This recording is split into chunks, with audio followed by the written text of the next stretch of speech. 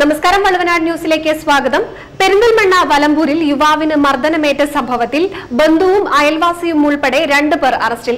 ഹമീദ് മുഹസിന എന്നിവരെയാണ് Perinthalmanna police arrest ചെയ്തത്. ഇവരെ കൂടാതെ ആറ് പേർക്കെതിരെയും പോലീസ് കേസെടുത്തിട്ടുണ്ട്.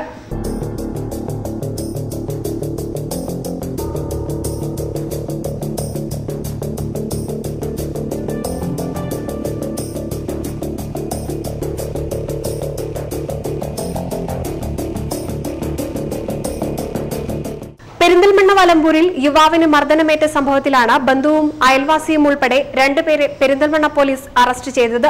കലമ്പറമ്പിൽ ഹമീദ് കലമ്പറമ്പിൽ മുഹസിന എന്നിവരെയാണ് അറസ്റ്റ് ചെയ്തത്. സംഭവത്തിൽ ആറു പേർക്കെതിരെ കേസെടുത്തിട്ടുണ്ട്. ഇതിൽ നാല് പേർ ഒളിവിലാണ്.